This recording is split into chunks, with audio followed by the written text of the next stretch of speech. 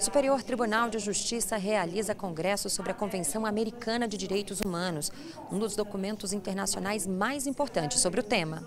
Os valores fundamentais, o contexto regional e mundial dos direitos humanos são alguns dos temas discutidos no primeiro dia do Congresso sobre a Convenção Americana de Direitos Humanos.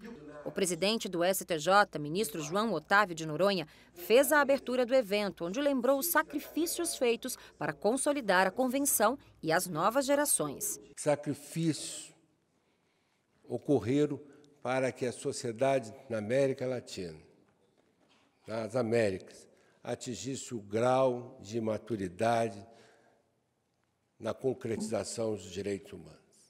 Seminários que debatem, que fortaleçam os princípios agasalhados nessa convenção se faz necessário, porque a todo dia nós encontramos dirigentes tentados a sacrificar os princípios consagrados nessa tão importante convenção. Representantes dos 20 países que ratificaram a Convenção Americana participam do evento. Entre eles, Bolívia, Equador, Honduras, México, Nicarágua, Panamá e Portugal. Ministros, magistrados do Brasil e estrangeiros, além de autoridades no assunto, vão conduzir os sete painéis programados. A Convenção Americana de Direitos Humanos, também conhecida como Pacto de São José, está em vigor há mais de 50 anos e é um dos documentos internacionais mais importantes de proteção aos direitos fundamentais do homem.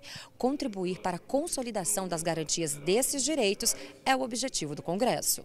Para o ministro do STJ, Raul Araújo, encontros como esse têm forte contribuição nesse processo. Essa possibilidade de dialogarmos, de trazer as explanações de grandes mestres, de grandes professores, de grandes estudiosos nos temas de direitos humanos, certamente contribuirá para que em cada país essas concepções avançadas acerca de direitos fundamentais sejam internalizadas.